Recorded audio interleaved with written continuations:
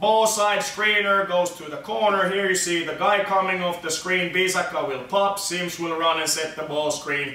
Understanding our wing denies this pass. Middle guy comes, releases. Wing to the corner and we play stay. Fanning keeping the ball on one side. This is stay now. Crosses and a baseline stagger. And this is palm blood. Can't really finish going to the basket. Okay, then these four down or thumb down plays are cross screens for Sims. And then he plays one-on-one, everybody else just outside standing and looking. Cross screen for Sims, one-on-one -on -one in the post.